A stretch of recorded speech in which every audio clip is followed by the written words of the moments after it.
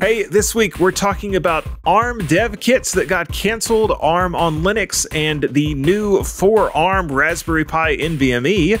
Then there is the kernel, Russia, and the Department of Treasury.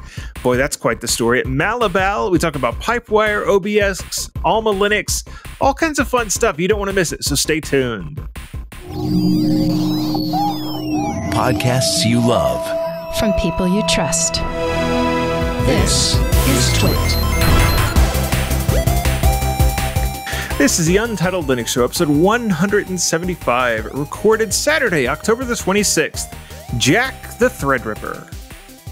Hey folks, it is Saturday, and you know what that means. It's time to get geeky with Linux and open source and software and hardware and gaming and pretty much whatever else strikes our fancy. It's just that kind of show. It's the Untitled Linux Show, and of course, it's not just me. We've got Rob, we've got Ken, and we've got a set of at least nine stories and three command line tips. We're assuming they're all going to be command line tips today. We, uh, well, they're not always command line tips, but that's all right. And we're going to let Rob kick us off, and we're going to talk about the Snapdragon. Now, the big news this week I don't know if this is what Rob was talking about, but like the Snapdragon dev kit got canceled. Is that related to this, Rob? No. Um that was I believe that was the Windows Snapdragon dev kit that got canceled. It's at least but, partially related to this. Like there's going to be some some overlap between those two things. But uh, dive into it and then we'll we'll talk about that overlap and maybe what all this means. Yeah, so I mean this isn't from this week. This is actually a story from the week before because I miss one day and these guys let the biggest news story of last week just slip right on by. And well, for those that follow me on Mastodon, even though it is a week old, I promised I would keep you up to date on the news that these lovely folks seem to have missed while I wasn't here. Or maybe they saved it for me because they knew how excited I would be for this. Oh yeah. Uh, this is this is a good news thing. I, I don't know about the the dev kit being canceled if that's good or bad, or maybe just neutral for us, probably being Linuxy. But here on the Untitled Linux Show, we, or maybe it's just myself, I have been excitedly watching the progress of Qualcomm that they've been making on their new Snapdragon X Elite processors, hyped to be the Apple Silicon Killers we were we were all a little disappointed when these devices came out with Windows only on them first, but we knew Linux would be coming to them soon. At least, you know, we hoped it would be coming soon, and and not the relatively slow battle slog that slog. Uh, what maybe I don't, I don't, know what word I was looking for there. Uh, that the Asahi folks had to endure with the Apple M1, M2 silicon. I mean, they got it going eventually, but you know, Apple sure wasn't any help to them. But thanks to the folks at Qualcomm being better stewards of their hardware than Apple, most of the elements of the Snapdragon X1 Elite SoC at system on a chip support is already upstream into the Linux kernel. And in Linux 6.11, uh, 6.12, we have seen various device tree files added for different Snapdragon X um, X1 Elite laptops. So now it's just up to the distros to put out their releases and and and and this that the week I take a break from the show is the week that Canonical did just that by releasing a developer preview of Ubuntu 24.10 with plans to provide an installation image that will, quote, just work on as many Snapdragon X1 Elite systems as possible. There are various feature limitations that remain, like firmware still cannot be easily redistributed by Ubuntu or other Linux distributions until they have been released or relicensed, I guess. So now users need to jump through hoops of having to fetch the firmware files from their Microsoft Windows installation for use under Linux. But eh, just be like the old days where nobody ever updated firmware anyway. Why not? But anyway, uh, I, I, I joke there kind of. But if, if you're looking, if you are looking to test things out yourself, the best experience will likely be with the Lenovo ThinkPad T14's Gen 6, as this has been the devices uh, we've seen the most testing by Canonical. And a quick look on the Le- Lenovo site shows you can get them for as low as right around 1200 uh, US dollars. Um, they had like three SKUs on there. The top one started at 2600 US dollars. So exciting feature, but for that cost, I may settle for an M1, M2 Apple to put on Linux for now. But if if you'd like to see me in one of these nice Lenovo's, all it'll take is a low price of 240 coffee donations, and I'll be able to afford one. And maybe Jonathan has some news coming up here too that uh, that I didn't quite catch this week, but he hinted at it a little before the show, and and may, maybe that'll be a way to get me into one. Uh, we'll find out what what's said on that. Yeah. So uh, what's real fascinating here is obviously these these these ARM based AI chips. They're kind of there for a while. It was the new thing for Windows 11. Like that was that was what was coming down the pike. And then we got the news this week that the Snapdragon X Elite Dev Kit is canceled. Pulled the plug on it. No longer going to happen refunding people's money and everything. And so there's even a there's a story in Phoronix about the kernel devs because apparently some of them already had their hands on this thing. And it's like what do we do now? We'd already started porting it. and they decided, eh, essentially, yeah, it's good practice. Let's go ahead and port it and make it work. Which is hilarious. Aren't there already aren't they already uh there's already laptops out there with that. Is this for a specific piece of hardware? This is for like a specific uh, Qualcomm piece that was like their their NUC equivalent, right? Isn't that what it was? It's it's a VB dev board patch, patches yeah. for the X1E001DE Snapdragon Dev Kit for Windows. Mm-hmm. So yeah. I mean, it's not the end of the world. It's one piece of hardware. It, yes, but I, I suppose I'm trying to read the tea leaves here and like why why did Qualcomm suddenly cancel their Windows dev kit for their Snapdragon chip? And like that is interesting. It does that signal that Microsoft is moving taking a step back from ARM? Are, are we suddenly going to see a whole bunch of these ARM devices that either get canceled or get abandoned? I it's or, or, or it's something they do the same thing Apple did to get around the FCC guidelines with their Apple II when they came out with the Apple computer. Well, what's here, that? What's that, Ken? What did Apple do? Well, they had somebody else build the uh, video uh, connection to go to the TV, the monitor, the mm-hmm. uh, modulator, and you they sold that separately. So each could get around the FCC because it fell on the end user to take put up with any uh, interference. I gotcha. I see. Yeah, yeah, yeah. Um, I I doubt it's quite that sort of a deal, but I, I don't know. They just it strikes me as being very weird that they're they're pulling the plug on it. Rob, what do you think? So here's my tea leaf. I mean, they already have Windows laptops out there um, running on this. Uh, it, I I think I think this was like their specific, like their their little Mac Mini uh, equivalent, mm-hmm. their Snapdragon X Elite Dev Kit being an 899 US dollar mini PC. I think this was just their Mac Mini equivalent, and or maybe their what is that called, where they make something so other people can kind of copy it. There, like a reference implementation. Reference. I think it so, may have something to do with ARM. So, well, here, here's what the I company, think. As far as things leasing, are licensing it too. Yeah, things are potentially changing with ARM too. That's true. I mean, if this is 899 US dollars, you can get a Mac Mini for uh, as low as 599 US dollars, 799 for a, a bigger one. So it's it's not really competitive from that perspective. Uh, if you want an ARM little ARM PC, I mean, you got not as powerful, but you got the Raspberry Pi fives, which yeah. Okay. So, but Rob, you're thinking of this from from a consumer standpoint. I'm thinking of this from a business standpoint. If you've got a dev kit So your dev kit is okay, this is essentially the hardware. This is the chip that we're going to ship. Here's the dev kit you buy so that all of these different companies can do development work for supporting this chip inside of Windows.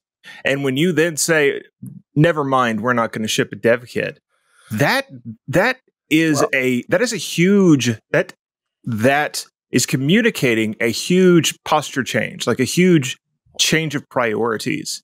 And so I just I just have questions. Or now. there's already half a dozen um, devices out there running this that they can use that it can easily just develop on anyway. That why do they need another board when there's already a whole bunch of other ones out there?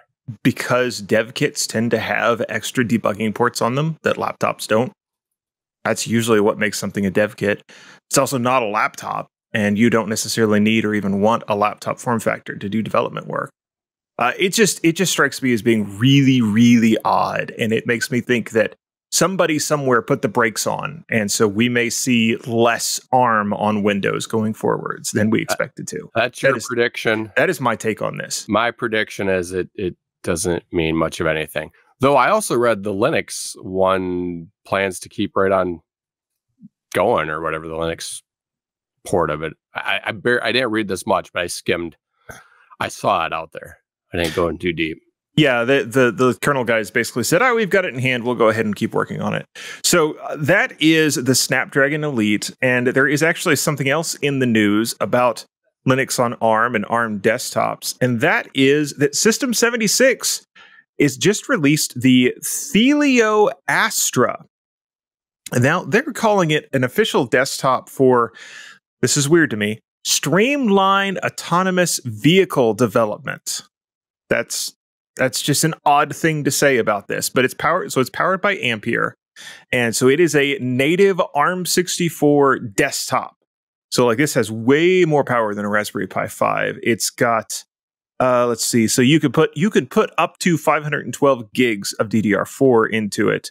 Um, it's got M.2 slots. It's got PCIe Gen 4, um, and it's it's literally an NVIDIA Ampere Altra in a desktop form factor. So I'm, I, don't see immediately how many cores that is, but it's quite a, it's quite a few. It's like I, I want to say 32 or 64 cores. Uh, it's somewhere in that ballpark. Um, and so this is sort of the opposite extreme, whereas Qualcomm is dropping things. You've got System 76 that's picking up like this really exciting new thing. And they are, like I said, they're pitching it as really good for doing development for autonomous driving platforms. And I'm sure that there are companies that will do that. Um, but this thing is going to be great just for doing ARM development, for doing uh, ARM compiling. So, you know, if mm, you need yeah. to do a, a, bunch of recompiling for ARM, this is going to be one of the places where you can actually do it natively, which there are some big advantages for doing it natively.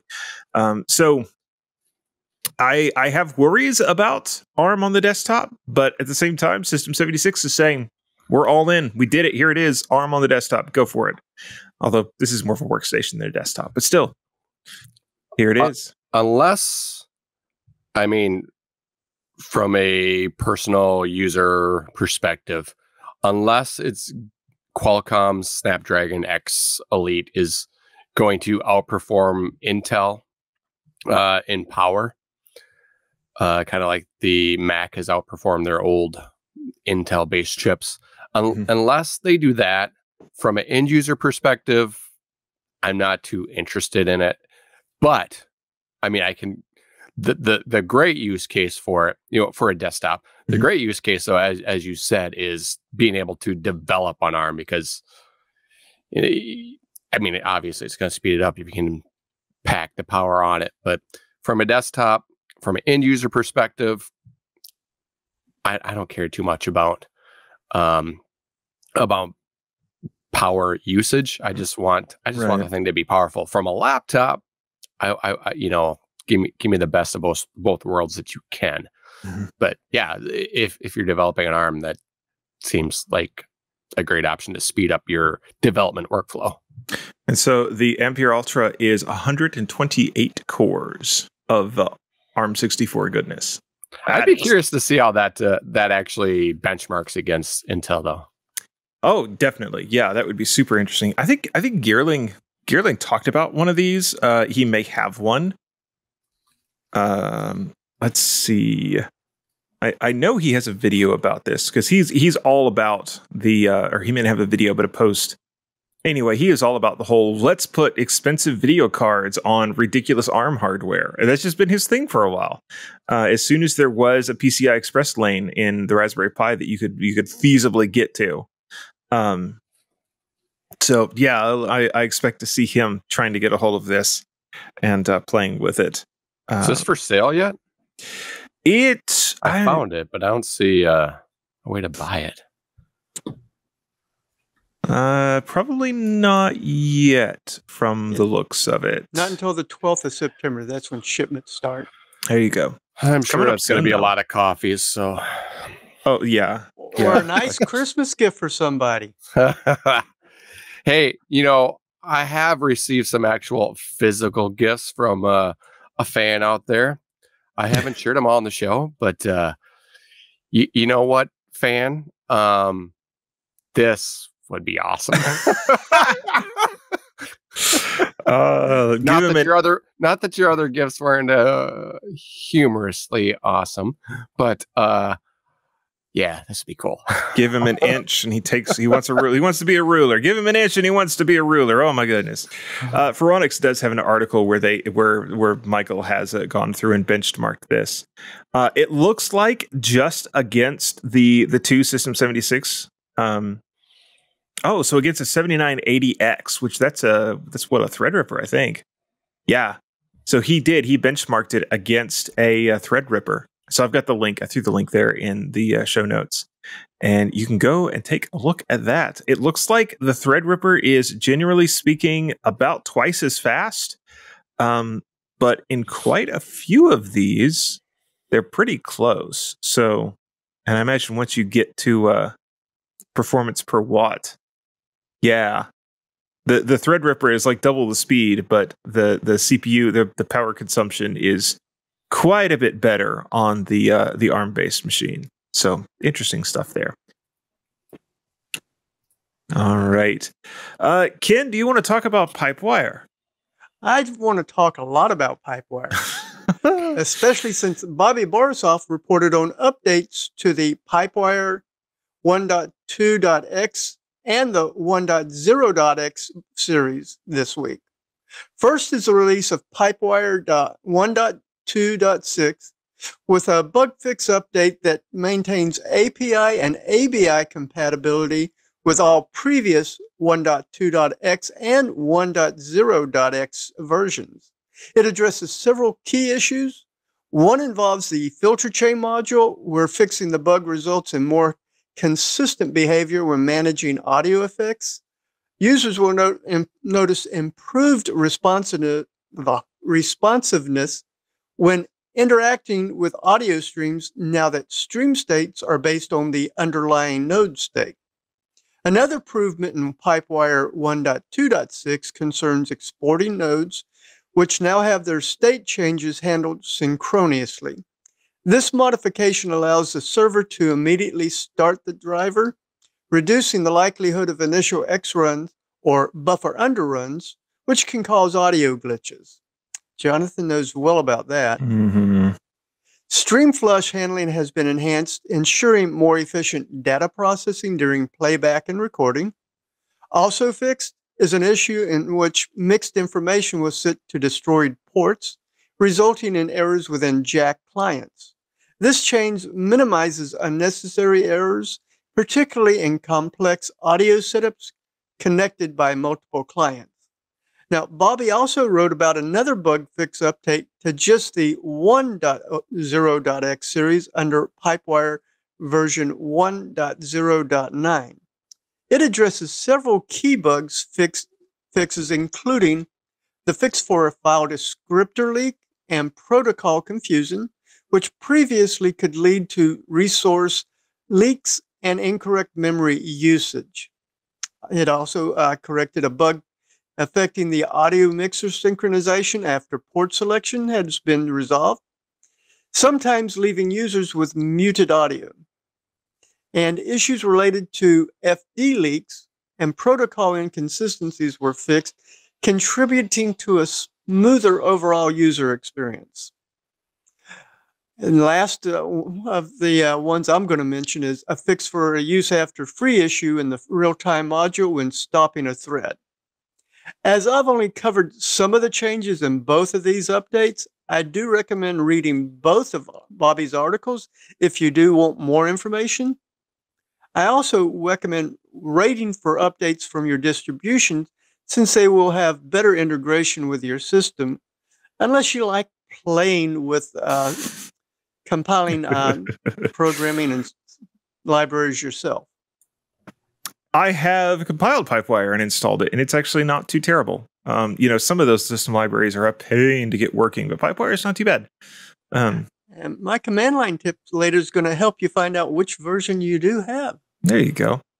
Yeah, I uh, Pipewire has come along such a long ways in the past couple of years. It's it's really it's really turned into quite the quite the good solution for for most most things. Um, there are there are a few cases where people still need to run Jack or you know something doesn't work in it, but or for Pulse audio. yeah, I I mean it. I can't. I, I don't know of any case where Pulse Audio works better than Pipewire at this point. Uh, honestly, uh, unless it's for uh, legacy applications, maybe. Mm-mm. That's why Pipewire is so cool when they wrote Pipewire, they said, all right, we're just going to take the Pulse Audio API and we're going to re implement it directly in Pipewire. And we're going to take also the Jack API and we're going to re implement directly in Pipewire. So any program that was built for Pulse Audio can just talk to Pipewire kind of natively and, and it just works. Mm. And any program built for Jack can just talk natively to Pipewire and it just works. Now, Jack is complicated and hairy, and you're talking about, you know, very tight timing tolerances. So there's been a lot of work that's had to be put into that, a lot of bug fixes over the years to make things actually work. Now uh, you're talking about into Jack. In Jack. Well as so yeah, so programs that were written for Jack, that's things like Ardour, um, to make those programs work kind of seamlessly with Pipewire. That has been a, a big lift because you were doing things in Jack, like in Ardour, when you went to render something out, it would put Jack into freewheeling mode, where it just sort of ignored the, the clock on the wall and we just chug through the audio as fast as possible. And so they had to re-implement that in Pipewire to to be able to do this, to to to put Pipewire in this state because Jack would actually or Ardour would actually use the Jack backend to process the audio still. And so they had to come up with a way to say, okay, we're going to take part of the Pipewire I- engine and we're going to also put it into freewheeling mode so that we can chug through all this audio super fast to be able to render a, a, a session out. Um, lots, still, lots and lots of complicated things there. And still, even if it was Pulse, Pulse Audio or Jack, you still had to get ALSA, involved. Yes. Yeah, Pulse Audio, Jack, Pipewire as well still runs on top of ALSA. ALSA is basically your your Linux kernel drivers for audio, um, whereas Pipewire sits on top of that, and it's the, the thing that routes everything around. Um, they they have in the past year or so, um, they did add the ability to talk to FireWire drivers in mm. Pipewire. Um, last I checked, that still didn't work very well. I need to go back and check that again, actually. Um, but I guess in that case, it would not talk with ALSA. It would talk with, uh, is that FFADO? No, FFADO yeah. is the one that's. Yeah, I think it was. I think it's what they implemented. The ability to talk. One of us covered that when it came out. Yeah, I I did. I tried it, and like I said back then, it didn't work very well. I think I think the community actually sent uh, Wim Taemans some Firewire hardware. And it's like, look, your code looks beautiful. It doesn't actually work. Have some real hardware to test it on. oh my goodness, that's helpful. Uh, you didn't uh, volunteer some of your hardware, did you? No, because I only have one and I really don't want to get rid of it. It's pretty nice audio hardware from back in the day. Oh, okay, Rob. Let's talk. Oh, Rob, let's talk about Bitwarden. I don't know much about this story yet. I've I've seen the headline. What what is Bitwarden doing? So, over the past week or so, there have been some concerns in the open source communities. And I believe I saw it first on Reddit. Of course, that's where all this stuff comes first. Um, that Bitwarden is beginning to move away from open source. So, you know, my first rant is they better not. This is a big reason why we love them. I, I am even a paid subscriber uh, that I love them so much. But if you betray us, Bitwarden, we'll leave you faster than we left LastPass when they betrayed us. So that's my warning. Uh, but so what happened here is a, a week or two ago, users began to notice the client introduced a quote Bitwarden slash SDK internal dependency. And that internal SDK having a license clause that stipulated, quote, here it is, you may not use this SDK to develop applications for use with software other than Bitwarden, including non compatible implementations of Bitwarden, or to develop another SDK. So this was raised as an issue in, in their GitHub as it essentially makes the Bitwarden client no longer free and open.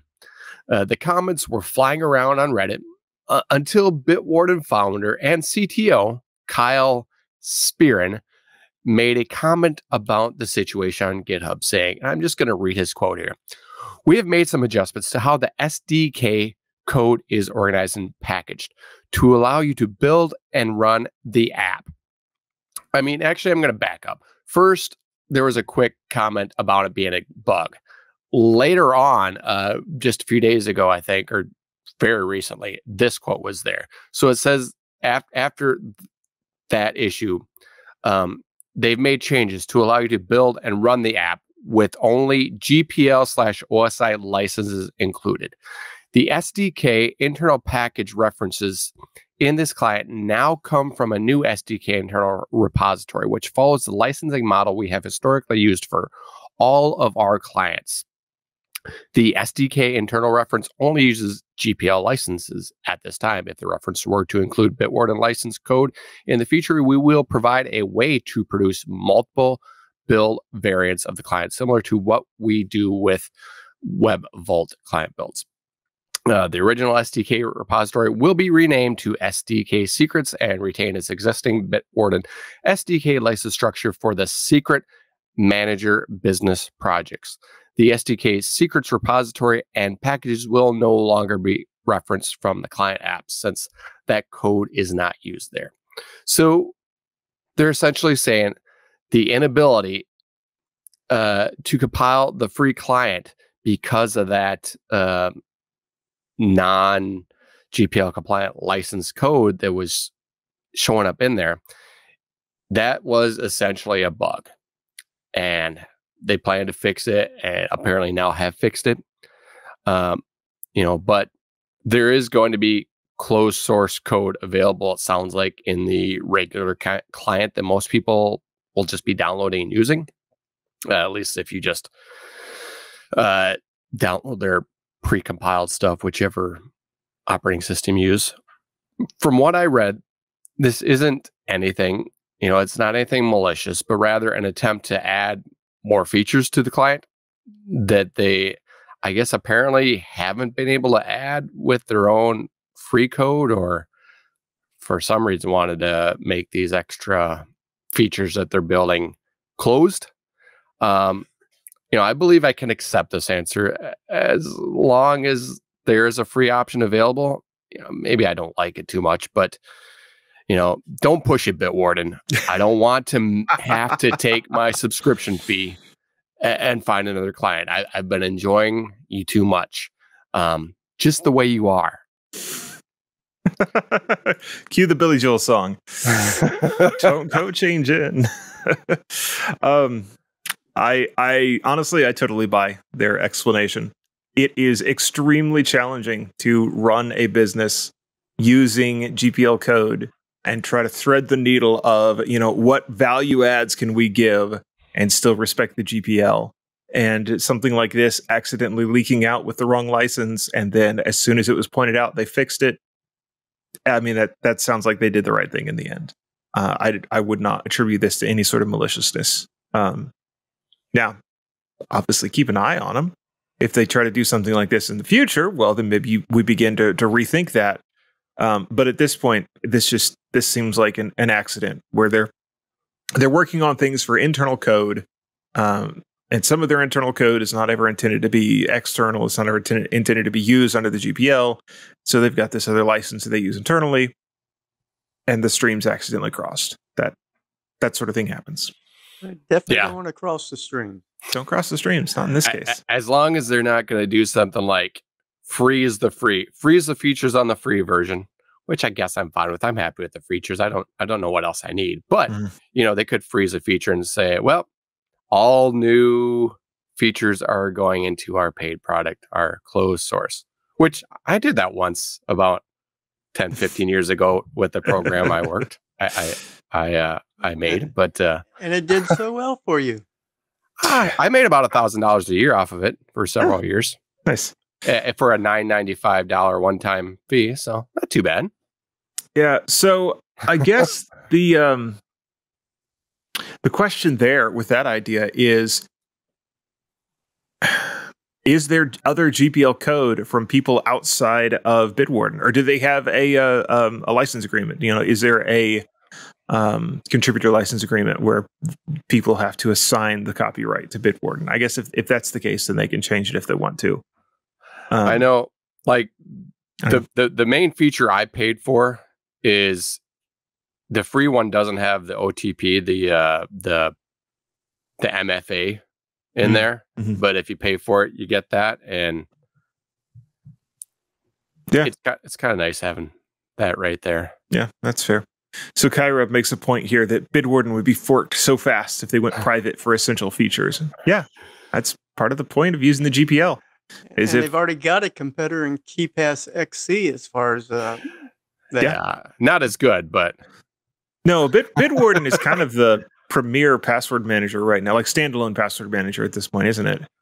W- Especially if you're wanting one that lets you have multiple devices synced without setting up your own um, cloud service.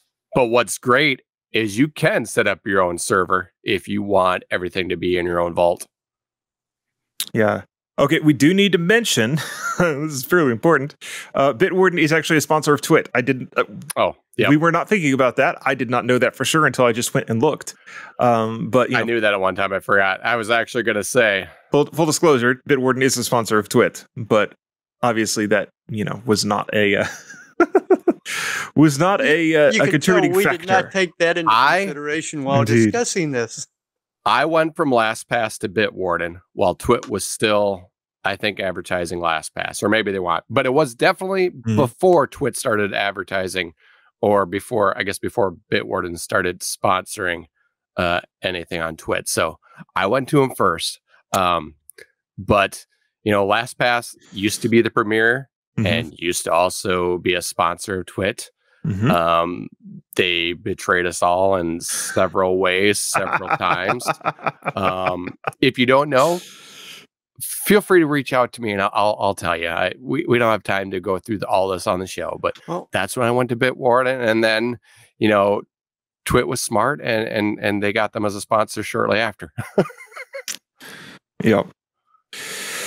All right. So I've got two stories here, uh, and they are both they are both these kind of stories that you know it's like guys this is not what i want to be talking about i, I would i would like to talk about the positive things of open source but no no we've got feuds and fights and fussing and all sorts of stuff and uh, so the first one we're going to talk about is the shakeup among the kernel maintainers you may or may not be aware of this but within the past uh, i think it's within the past week um, a, a change landed in the linux kernel and a, a couple of dozen, one or two dozen maintainers were sort of quietly removed from their maintainership.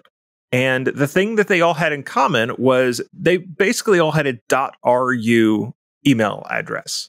Um, they they were all Russians, and they. So the, the the first thing is you may be surprised actually like this is something we should mention. You may be surprised that wait, there were Russians that were maintainers in the Linux kernel. uh, yeah, yes, there were. Um, and some of these people, in fact, all of the ones that were removed were employed by or affiliated with uh, a handful of Russian companies, like Baikal being one of them, um, who makes little ARM-based CPUs, but Baikal products end up in drones and missiles and things used by the Russian military. and they you know so long as they write good code nobody particularly cared that they were in the kernel there, there have been there have been some minor things in the past where i think i think one a, a, maintainer from ukraine opted to not take a pull request from a maintainer that was um, employed by Baikal for potentially obvious reasons um, so there have been a couple of things that have happened but they just they just quietly yanked all these people from being maintainerships. And there was a little bit of an uproar. Um, and finally, we got we got some clarity on this. And so one of the core kernel maintainers came out and said, "Look, the Linux Foundation lawyers gave us this, these guidelines. They said, okay, we finally got it cleared that we can tell you exactly what they said. And it was if your company is on the US OFAC SDN list, subject to OFAC sanctions program. So essentially, the US government puts out these are the companies that are sanctioned for one reason or another, uh, or owned or controlled by a company on that list. Our ability to collaborate you will be subject to restrictions, and you cannot be on the maintainer's file. So the the lawyers at the Linux Foundation came to the conclusion very recently that anyone that we suspect is being you know either uh, employed by or collaborating with one of these sanctioned companies, they just they can't be on the maintainer's file. It's it's a it's a problem. We can't do it legally. We cannot do it. So like, and and that's fairly understandable because the Linux Foundation is based in the United States. Uh, Linus Torvalds and Greg KH, the two at the real at the top of the, they're both U.S. Uh, Greg is a U.S. citizen for sure. I, I don't know off the top of my head if Torvalds is an actually citizen or just long term resident, but he resides in the United States regardless. Um, and so, like on one hand, well, that's that's fairly understandable. Um, but then on the other hand, there there were some questions that people had, and one of them was like, "What about Huawei? Uh, what what about the Chinese sanctioned companies that are still, you know, part of the Linux kernel development team? and I thought that was a, a really valid question. Uh, Ted Ts'o, one of the other kernel maintainers, high level guy, came out, spoke out, and said, "Hey, just so you know, there are different rules and regulations within these sanctions, and while there is there is an exception in place." For these Chinese companies, that exception is not in place for the Russian companies. Okay. Again, that's understandable. Uh, people were annoyed that this was done suddenly without much communication, um, but it is what it is. All right, so that that's that's that's part of this. And then there was a statement from James Bottomley, again, a core kernel maintainer, who obviously was part of the discussion with the lawyers about this. And here's what he said, and this is the part that's important. He said, We are hoping that this action alone will be sufficient to satisfy the U.S. Treasury Department in charge of sanctions, and we we won't also have to remove any existing patches. And when I read that, my my head exploded because this says to me someone from the US Treasury Department contacted the Linux Foundation and said, "Hey, not only do you have members of these sanctioned companies in your maintainers file, which is a fair that that in and of itself is a fairly legitimate thing to do. It's just it's just these are the sanctions, these are the laws. So there's that. Like that's fairly reasonable to me. But this statement implies that there was a threat that you would also have to remove the code that these people had written. And that is a problem. And I will tell you that is a problem because in the United States, code is protected speech. This has been established several times in court cases. Code is First Amendment protected speech. And the idea that the government can come in and say, you're not allowed to say this because it was first said by someone that we disapprove of is a huge First Amendment violation and a huge problem. So, this we are now past the whole Russian China sanctions issue, and we're now on to what is the US government allowed to do when it comes to things like the Linux kernel and other software pro- projects. I, I, I, see a, I see a huge disconnect between these two. It's it's two separate issues. Um, you can you know you could say I, I really don't want Russians or people associated with these Russian companies in in the maintainer file like that that's fine that's a discussion to have that's fine But to say the US government gets to come along and say you're not allowed to put this into your source code, which is protected speech. Yeah, I think that's just entirely beyond the pale. And I have I've literally already called on the Linux Foundation to to launch a lawsuit against the US government because I consider this to be entirely unreasonable and illegal. Um, and this sort of a precedent cannot stand. Uh, we will all be in trouble if the government can come along and say, nope, we don't like that code. You're not allowed to put it into your open source project. Um, so that is my take on it. I am, I am, I am beside myself over this. It's a good thing uh, you get that Foundation, take. I know where you can find some real good lawyers that will help you. The Linux Foundation already has really good lawyers. Um, I, just so you know, I've sent I've sent an email directly to Greg. I have contact information. I've been in contact with him before, um, and I, man, I I am unhappy and worried over this. It strikes me as being a terrible thing. So we'll see what happens. They, they, they don't know that they have to take anything out. They are so the the exact statement is that they are hoping that this action alone, removing them as maintainers, will be enough to sufficiently satisfy the US Treasury Department that is in charge of sanctions. So they're hoping that the action they have taken is enough to satisfy them. They're therefore hoping that they won't have to remove any existing patches. So, I mean, just stop and think about that, though. If the US government said, okay, you've got to remove any patches in the Linux kernel that any of these people associated with these companies have written back to the beginning of when the sanctions happened, I guess, like what would that look like? Mm-hmm. Who, I mean, what if they said, break? No, it would break everything. That's the thing. You cannot just remove the patches. That that's not. So uh, the f- friend of mine, who's a fellow developer, we were talking about this, and he says you would basically just have to roll the entire source tree back to when the sanctions started, and mm-hmm. then start over from there. Which uh, the government being a a user of Linux seems like it could be rough for them too. But um, I I wonder maybe like, that's part of their concern. Uh, going forward, but if it's all good now. But I wonder, you know, Linux, I mean, Linux isn't like a business per se. I don't know how the organizational unit um, holds for like Linux itself. So I, I I'm mm-hmm. curious how what kind of enforcement could actually be done. Like who would be responsible or what entity or or, or, or is somebody concerned about what recently happened uh, earlier this year possibly happening with the linux kernel? The x the xz hack yeah. So i that may be what someone is concerned about. That is a ridiculous concern to have in this context because if someone was going to do that they would not do it from a .ru email address they would do it from a .gmail address they would say hi my name is john smith and I live in the middle of the United States, and here's my patch to make things better. Um, yeah. yeah. What if they just said no? I mean, what's I, I so okay. So the Linux Foundation is a trade trade organization. So it is a um, it is not a nonprofit. It is a I think trade organization is actually what they call it. But they don't but, control Linux either. No, but they pay the they they have a lot of money and they pay the salary of Torvalds and Greg KH and some of the other core maintainers. Mm, like there is a, there's a there's a pot of money there that you could at least go after for fines.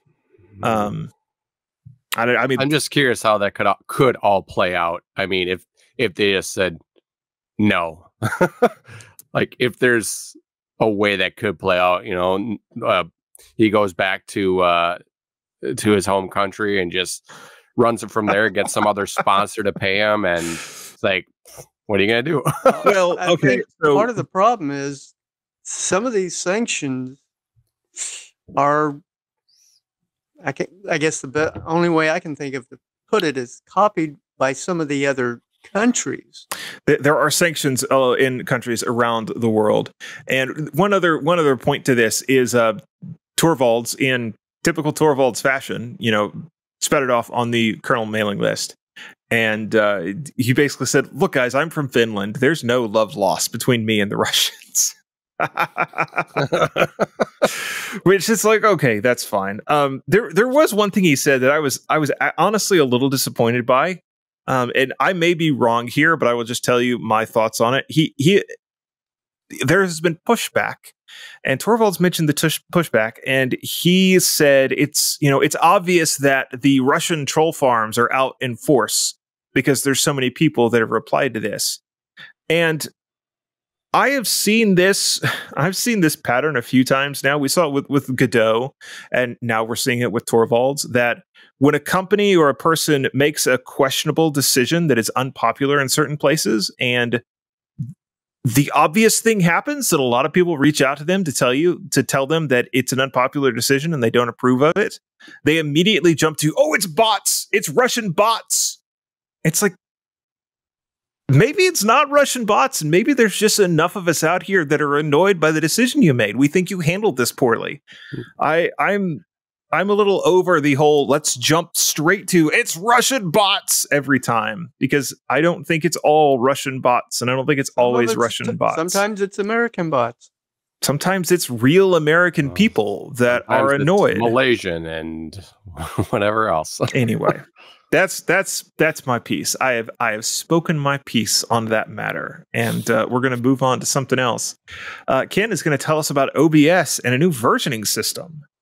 Yes, I am, and I'm going to thank Bobby uh, Borisov for reporting on the latest news from OBS this week. The team has decided to change the version numbering scheme used. They started following proper semantic versioning to bring more clarity.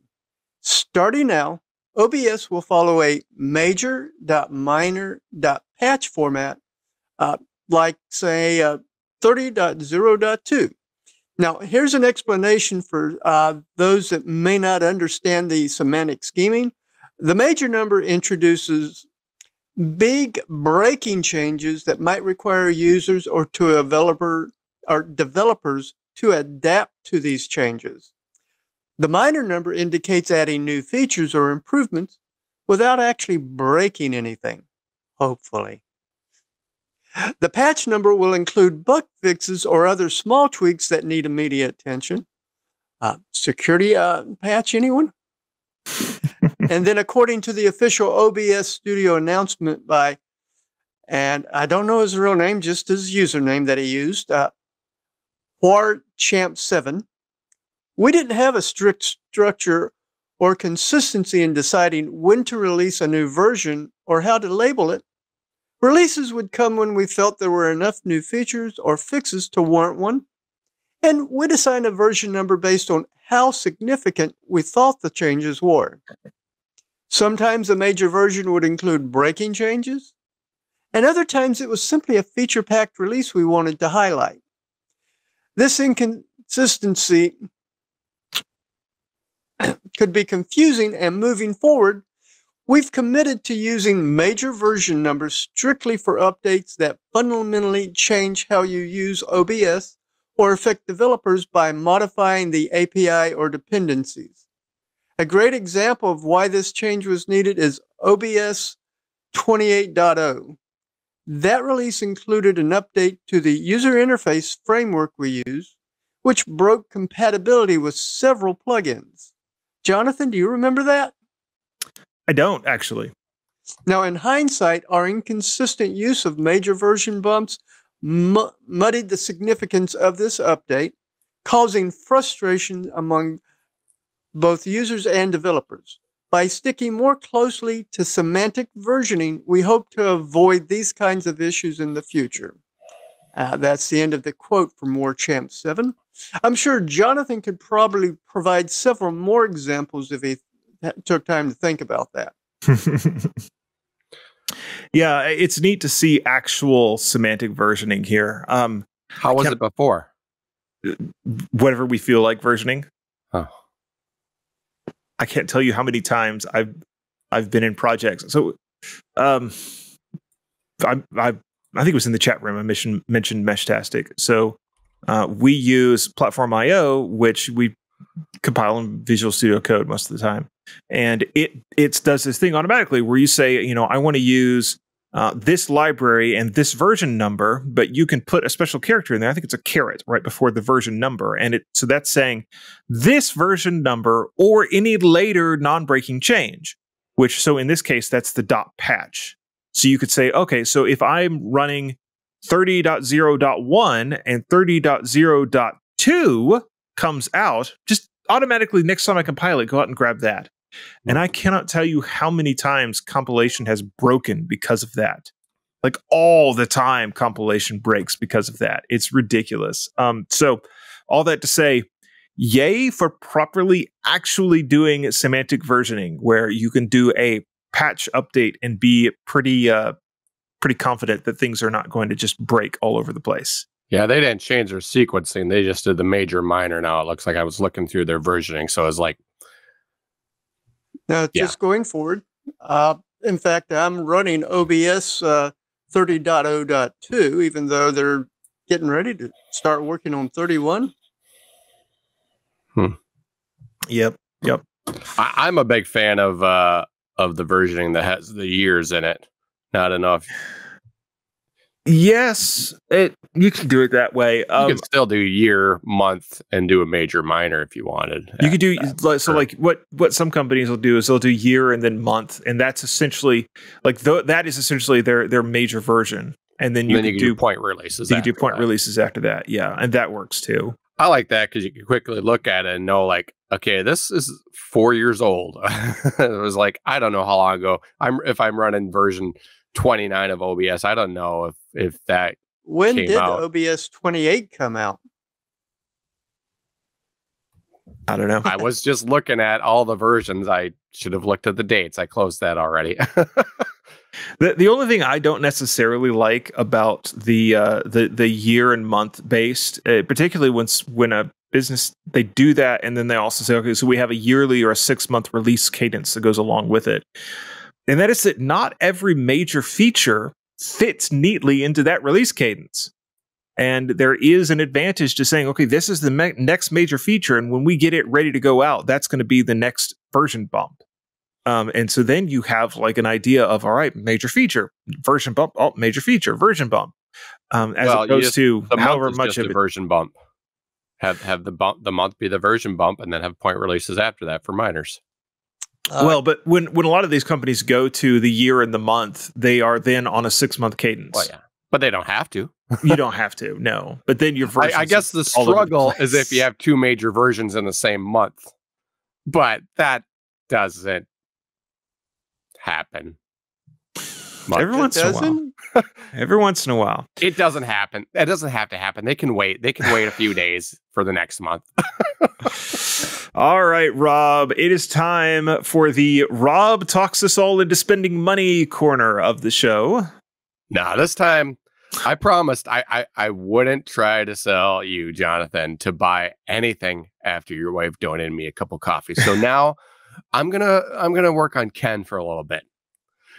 So what do we know about Ken? Well, we know he likes to stick to a budget, aka he's cheap, and he likes Raspberry Pis, and has even ran them as his main desktop computer before. So I had to find something that fits nicely into those categories.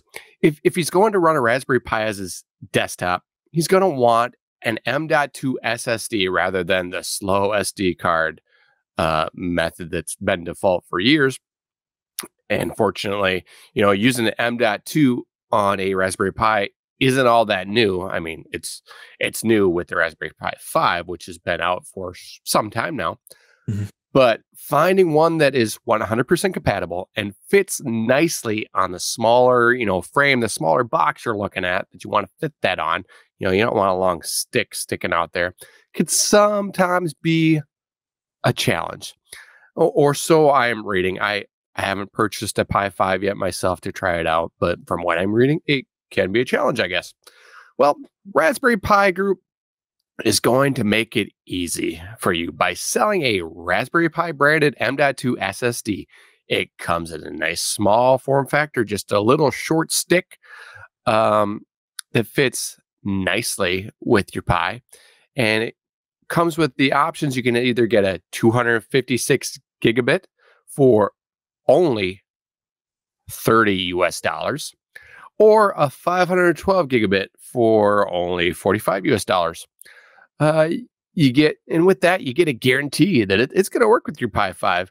And for the price that it competes with others that I found on sale online, I found some that were a few that were a little cheaper, but I'm not even sure I would trust those uh, ones that I found that were. I found some that were, uh, I don't know. You can't get too significant when you're only at thirty dollars. I think I found one like twenty one dollars, uh, but I'm not even sure I trust that. I trust the Pi branded one. so, if you don't already have a Pi hat uh, for the M.2 drive, you can now also buy the new Raspberry Pi SSD kit. And that comes with one of those drives of the choice and an M.2 Hat Plus uh, with the SSD all in one for only $10 more. So, you know, the other prices, it's $40 or $55. Uh, you know, it's it's been a few years since I've purchased a new Pi myself. And I think my newest might might actually be a three but I really feel like it's it may be time to update my Pi gaming machine. Um, so Ken, how is the availability these days for Raspberry Pis? I haven't checked recently, but what I'm really interested in is the uh, M.2 hat and uh, M, uh, NVMe SSD kits. Yeah, the where they kit. both come together. Mm-hmm. Yep. You know, there's a there's another kit that um, I don't remember who dropped it, but it's the it's the SSD and the PoE together. Um, is that Pioria or Pi something like that? Um, Raspberry Pi's got an official kit out that they're bundling them. No, Wave WaveShare. It looks like WaveShare is the ones that did it. Um, they were doing it before, yeah. They would offer to provide the uh, M.2 hat along with the SSD. Or maybe it's Geek Pi. This link is off to Geek Pi. Um, oh, there's there are several. There are several that are doing it actually. Yeah, it's something like Priori or I don't remember what it is. there are there are multiple companies that have put these out. WaveShare has one. GeekPi has one. Um, uh, Geerling has a video about this too. Uh, I thought it was just one that was doing it, but apparently there's there's five or six companies that have put these out. So that's uh, but, that's but now you can get it right from the company. If you trust that Pi, you trust their hats and SSDs too. I don't think d- does Raspberry Pi have one that's both PoE and the uh, NVMe. Oh, the PoE. Um, yeah, that's that's what. No, I don't think so. No, no. This is just the SSD mm-hmm. with SSD. Yeah. Now it's cool that it's cool that Raspberry Pi officially has this. Um, but you know, it's pretty interesting that now you can do both. Uh, and you can you can do it without having to do anything weird like stacking hats on top of each other. That's one of the other ways to go about this, and maybe wasn't ever the greatest. Um, so yeah, but now there are there are options for doing this otherwise, um, and fairly reasonably. Like this WaveShare is only thirty two ninety nine, so it's always nice to have options. Oh, that would be I should have brought it years ago. I, I still have a Pi One, maybe it's a 2 mm-hmm. uh, but I I gutted an old broken Nintendo. I put it in there. I wired it up to the controllers, and then and then I made little like USB adapters, so it looks like you're plugging it in like a USB to controller adapter into the into the Nintendo, mm-hmm. and and I tried to keep all the um outlets and plugs as much best I could. Uh, obviously, I couldn't do anything with. The, well, I could have did something with the HDMI. I suppose I put it could have converted it, but I didn't. I just drilled a hole in the back for the HDMI. Maybe next time I'll convert it to to RCA. I think that's what what's on there. But um, man, I don't know where I was. Oh, you know what? I guess that that uh the PoE one would be cool because. Mm-hmm I, I could like run this Nintendo. I mean, it looks like a Nintendo off uh-huh. PoE. yeah, one cable, just just Ethernet. But that that kind of breaks away from the uh, somewhat realism I was trying to go for there. it's like, hey, why there's no plug in here, or why isn't it plugged in and it's still powered up? Uh, magic. Yeah, magic, yeah. Batteries. All right, I think it's my turn again, and uh, I've got I've got another these stories. Now this one is kind of more funny than anything else, but I've got another one of these stories that it's like what what is what is going on here? Um, and I saw this directly on uh, Twitter, actually on X is where I saw this, and then people have written about it since then. Um, but there is a company called MALIBAL, and they they make laptops apparently, and they wanted to. Um, it stands for modular, adaptable, long-lasting innovations for business and leisure. MALIBAL, what a what a mouthful. Anyway, um, they recently put out a blog post called "Don't Support the Core Boot Project" because they wanted to they wanted to put Core Boot on their own laptops, found it difficult, tried to work with the Core Boot team, and that didn't work out. And so now they have come out and uh, very publicly have attempted to shame the Core Boot team. And so I I saw this I saw this link and you know, I thought, well, okay, that's kind of an inflammatory headline, but all right, whatever. I'll go I'll go read through it. Um and then, you know, I I'm reading the I'm reading their blog post and you know, they're talking about how that they have they've had trouble working with the core boot team and there were problems. And so my my immediate thought is, well, okay, sometimes open source projects are difficult to work with for various reasons. That's that's fine. That's the fact of life. That happens sometimes. Sometimes developers are a little prickly and are difficult to work with. This is a real thing. This happens sometimes. So I, I like that was my that was my viewpoint going into this. Like, oh well, let's let's see what happened and maybe we can learn some things from it. And then um and then I get part way through the article and I see this as part of their blog post. Update. System 76's principal engineer decided to chime in and make a fool of himself, so we banned the entire state of Colorado for life. It's like, oh, okay. I, I see what's happening here. um, suffice it to say, I think part of the problem here was the people running uh, MALIBAL uh, maybe are not quite um, not quite as mature as they think they are. Um, but anyway, the, the whole thing the whole thing is a mess. Like there were obvious problems when they were trying to make this happen. They they were paying money for it and did not get as much progress as they want to do as quick as they thought they should. And uh, then finally they they sort of walked away from it, which is one thing, but then they went and they complained. They they aired their dirty laundry online, which you know is usually not a great idea. Um, you you could have put out a much more professional. Now, as they say, as they say, yes, they could have put out a more professional um, statement about this, but it wouldn't have gotten nearly as much publicity. So.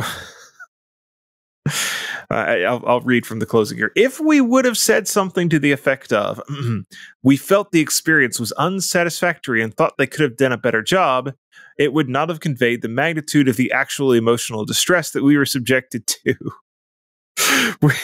which can be proportionally measured in our response to ban their states and countries.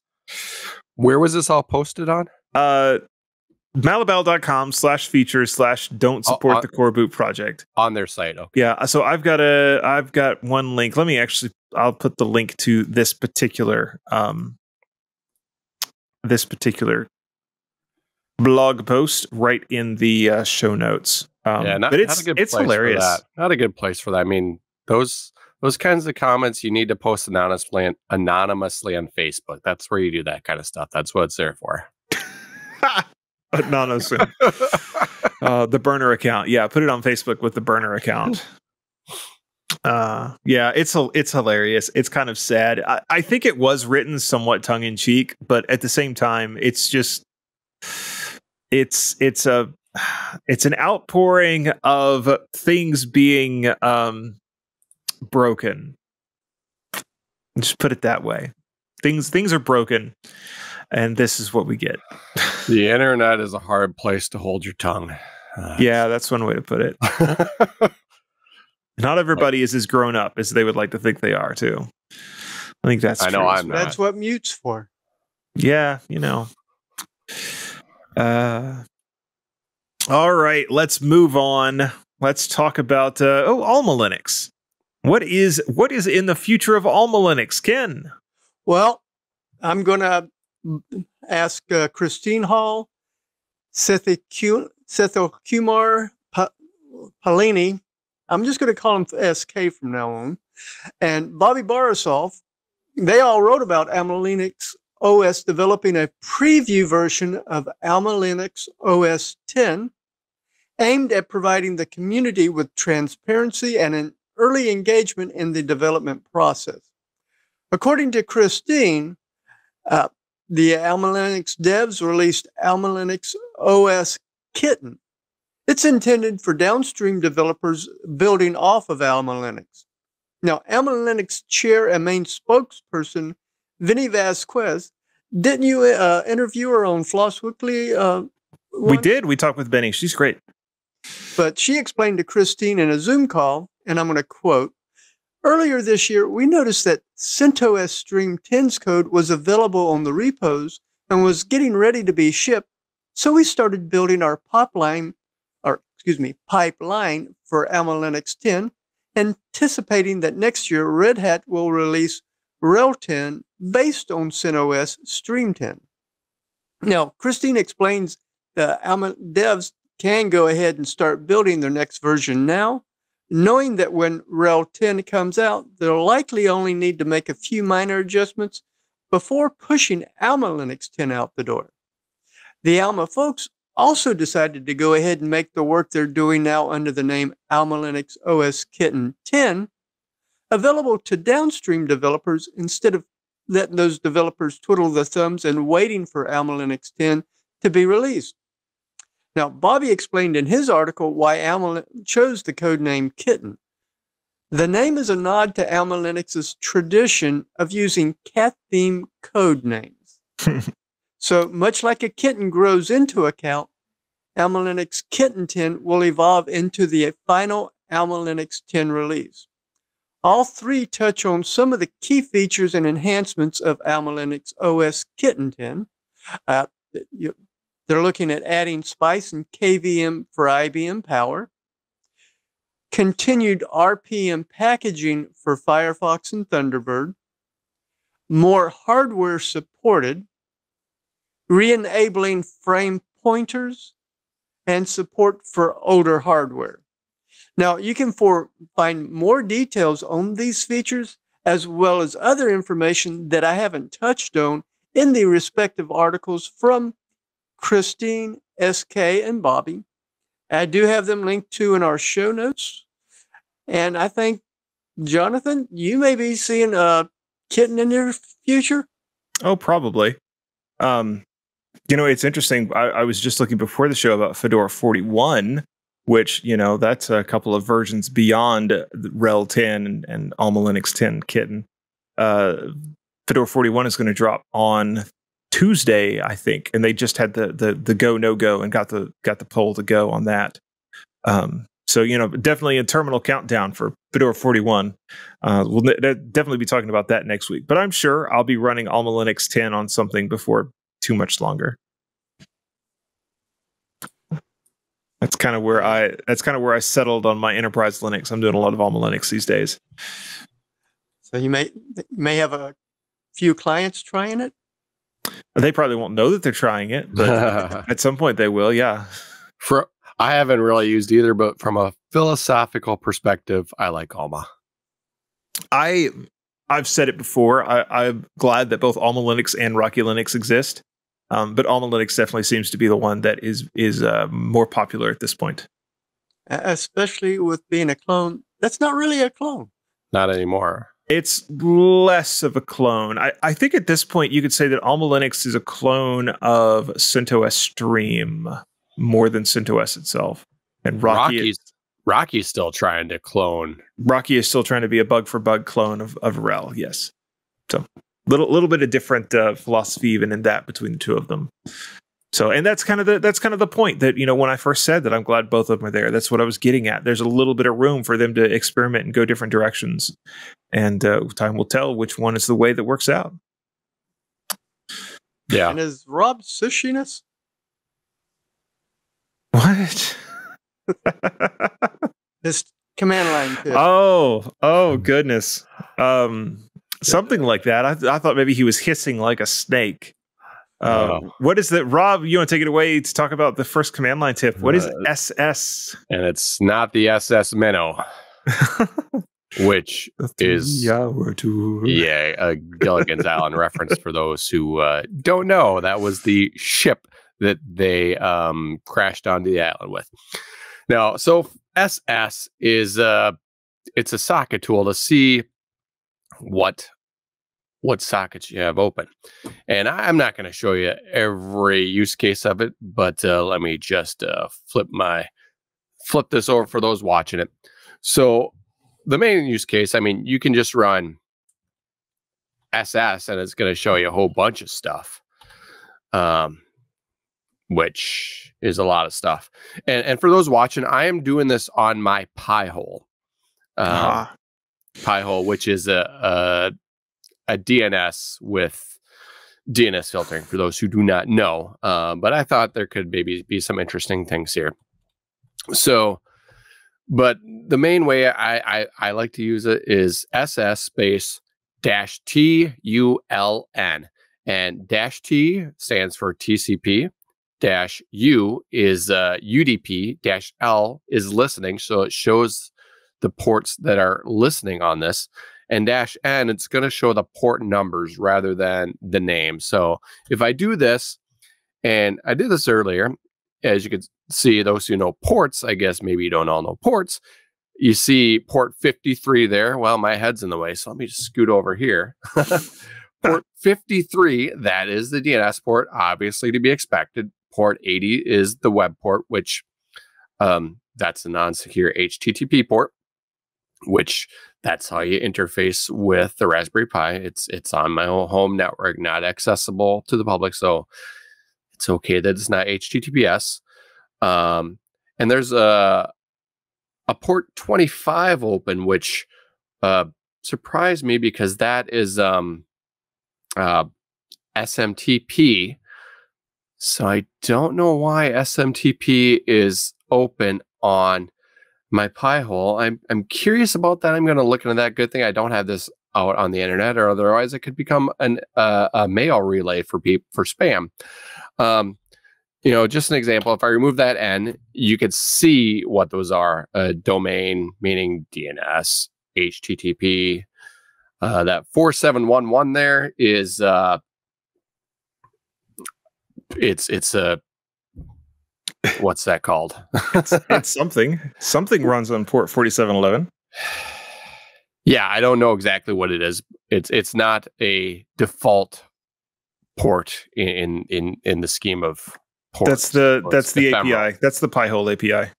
That's the Pi-hole API. Oh, oh yeah. So I do have the API running. I forgot because I I have an extension on my GNOME which I can uh, monitor and stuff. Mhm. But uh, I don't know if I ever showed that show some other time. But uh, also SSH. I don't know if I, I mentioned that, but port twenty two. So yeah, so there are a bunch of other um, things you can do. That's how I like to do it. I, I'm really curious why uh, um, port 25. why port 25 is open on there. But as you can see, if you do dash a, so there's a, a, a bunch of different things. You know, you can resolve host names, uh, display all sockets, uh, a bunch of other things. You can you can do I, only IPv4, IPv6. Mm-hmm. Um, Okay, Rob, pull that pull that back up where you got that list that shows port 25. sure. Let's take a look at this. I think I think there's something real interesting here. And move your head. Move here. Port 25 is listening on IPv4 and IPv6, but they're both bound to localhost. That's the 127.0.0.1 and the colon colon 1. Oh, they're both yeah, bound to localhost, which means that it's not listening for anything from the outside of the machine. It is only listening internally. And I am pretty sure that Linux machines, just by default, all of them do internal mail. And that is probably what that is. well, if you have if you have it running, I checked others and I didn't have port 25 running, but you don't necessarily have to have SMTP even installed. Um, so I must have installed. I suppose. I think there is in Pi-hole. Um, you can. I think you can maybe configure like alerts or reports or something in there. It's probably for sending out something like that. Yeah, probably. And so it's running an internal little SMTP daemon to do that. That makes a lot of sense. Which I'm not using that, so I guess I could just uh I could uninstall that and Mhm. maybe and find out what gets broke. Oh yeah, hopefully it doesn't break. I could uninstall that, and since I'm running this on a very bare minimum virtual machine, I could have more resources, keep it running cleaner and slicker. Yep, but at the least, it is running. On, it is running only talking to local hosts. So yeah, good point. I didn't look at that too close because obviously, you know, it, it does show the IP that it's running on too, which I didn't mention that, or the IP that it's listening on. Mhm. Um, I didn't mention that, but good point. Yeah. And so for those that are asking, Pi-hole is a way to you you black hole certain DNS entries, usually relating to like advertising.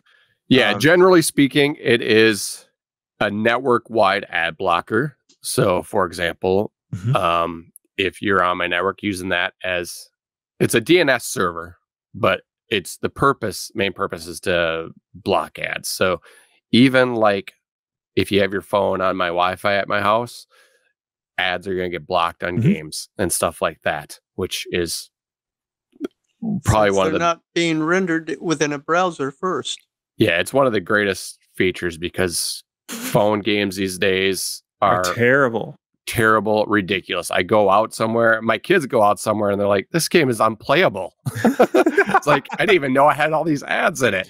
But you could also also use it for your own DNS. So I have custom DNS in there to point to various systems and machines around my Mhm. house so I can uh, call them by name. So it, it's also also just a DNS server. I suppose you could even take out the blocking and just use it for DNS, but that's not exactly the purpose. Yeah, and then uh, since we're doing Q and A, Steve actually asks, "Why use a Pi-hole when you can just use an ad blocking DNS service?" And I've got the answer for that one. Uh, the Pi-hole is not packaging up and selling your data. Whereas if you use an ad blocking DNS service, they are absolutely recording the DNS names that you look up and selling that. You collecting that information and selling it somewhere, And this, I mean, this is Even my if you are paying for the service. even if you are paying for the service. I mean, this is my service on my home network, so I can configure it any way I want. You know, I Mhm. can. I, I'm sure some. I know a lot of these services you can, especially if you're paying. You know, I can whitelist this. I can, or I can block this. I can allow this. Um, I can configure it any way I want and monitor on my home. And and also, it's nice as to have. It's nice to have DNS on your own network, Mhm. so that way it's basically like a proxy. You know, instead of reaching out to this place on the cloud every time I want to make a DNS call, it, it's just it goes to my own DNS server. It's like, yeah, I looked this up already uh, on some other device not long ago. It's cached. I'm not even going to reach out to the internet. Here you go. Here's your here's your IP. yeah, Um, or you know, you could um, redirect things as you want. You know, uh, if I want to um, have fun with uh, people in my house, I could redirect Google's IP to my own custom website and totally mess with them. I haven't done that yet. I thought about it. I thought about having some fun like that, but I, I haven't.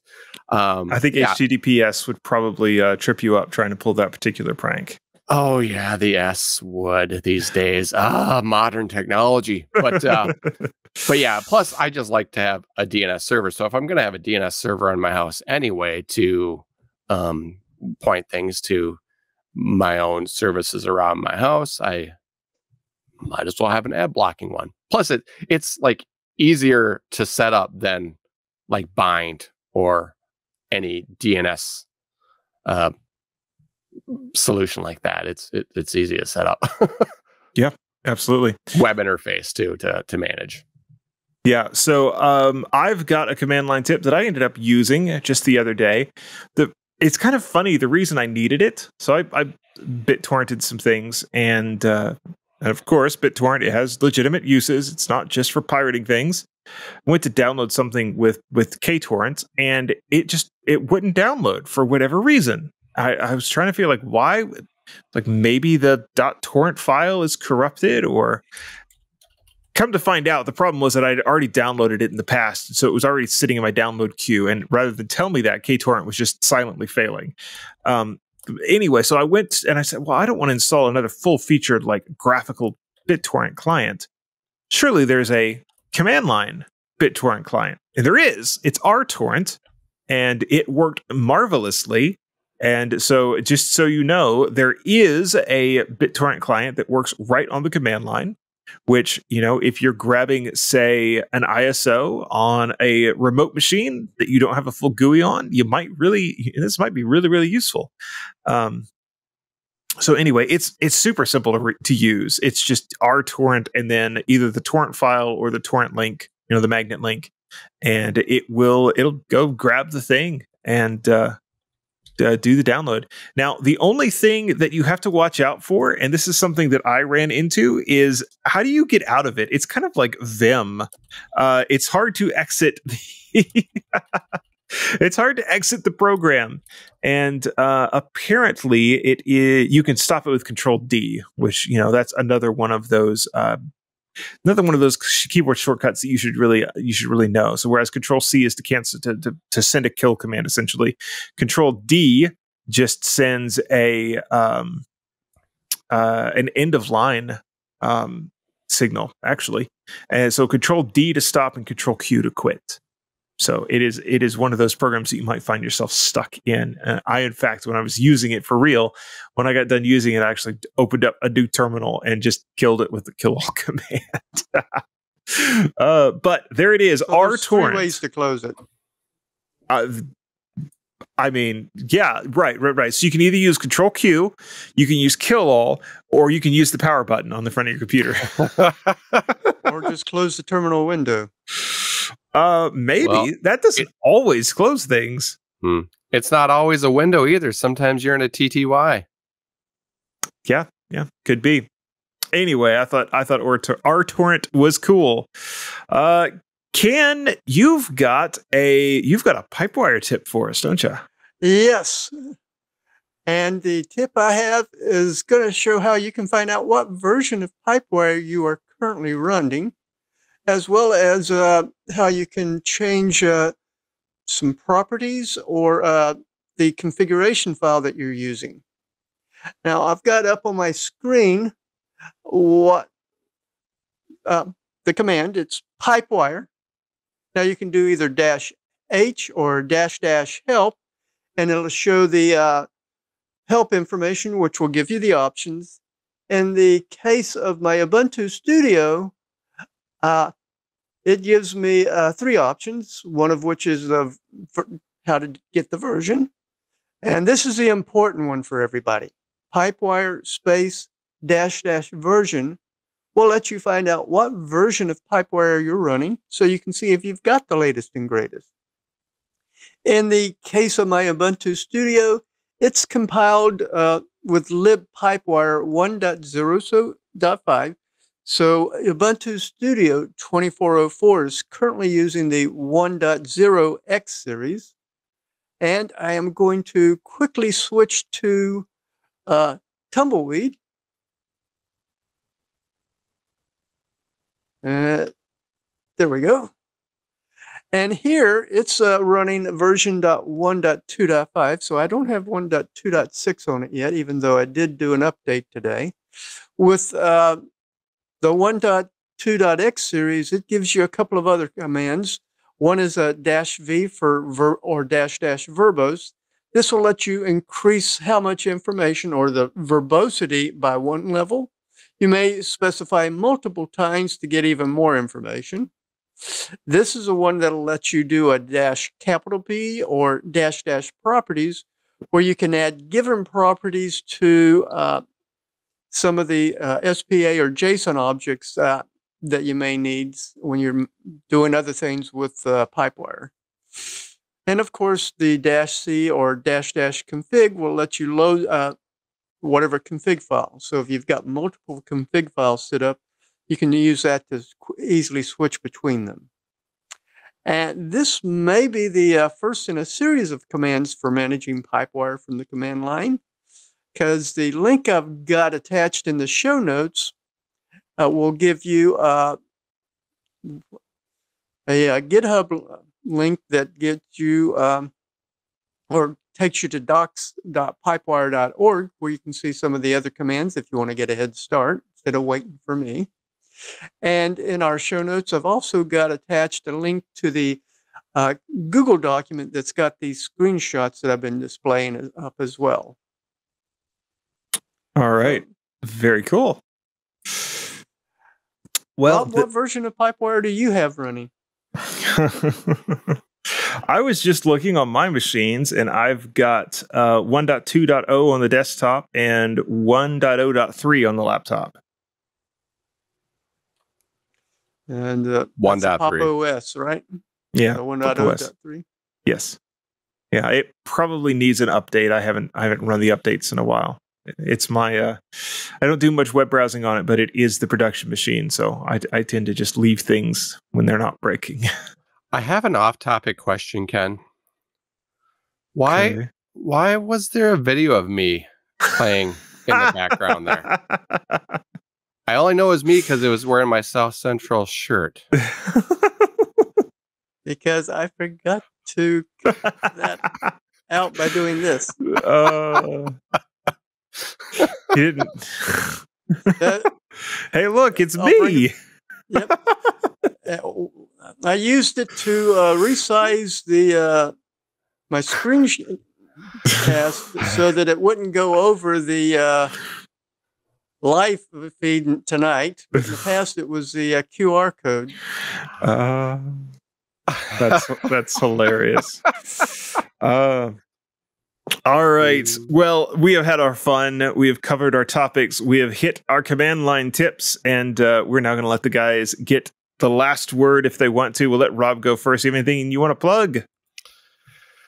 Uh, I've got nothing special. Just my normal uh, call to come and connect with me. And um, why is my URL not on here like normal? Oh, here we go. I, I did the wrong one. There's the right one. Wrong scene. Um, it would have worked. But here you go. You can come find my information at robertpcampbell.com.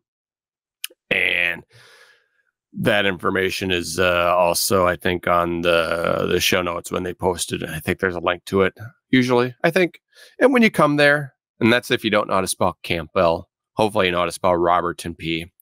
Um, and it's just the letter P for those not watching. When you come to my website, you will find links on the top to my LinkedIn, my Twitter, my Mastodon, and a place to donate those 20 uh 200 no uh, however many coffees i need to to get a to get a x uh one elite uh, laptop that that's where you do that and you know one of you doesn't have to donate all that for that laptop you can you know split that up if if every one of these listeners does one or two coffees that'd probably be enough so i mean just one coffee from everybody just one copy from everybody a week until Christmas. Yeah, there you go. Uh, all right, Ken, you have anything you want to plug? Uh, yes. Uh, this week, former Floss Weekly uh, guest Christine Hall writes about the rebirth of the opensource.com community website idea as the All Things Open website under the name we love, Open Source. They are hmm. sponsoring the All Things Open conference in Raleigh, North Carolina, where on Monday, Benny Vasquez will be talking on the state of Alma Linux. If you uh, are nearby, I'd recommend going to check it out. Jonathan, the All Things Open website may also be a good source for some of the future Floss Weekly guests. That could be interesting. I will definitely have to uh, check it out. Uh, yep, definitely go check out the link I've got in the show notes about all that. Very cool. All right. Thank you to each of you for being here. Um, I do quickly want to plug, of course, we've got Hackaday. It's where my security column goes live every Friday. That is also where you'll find the new home of Floss Weekly, and uh, we are super happy to be able to continue doing that. Um, other than that, I just want to say thank you to everybody that watched us, those that got us live, and those that get us on the download. We appreciate it. And we will see everybody next week on the Untitled Linux Show.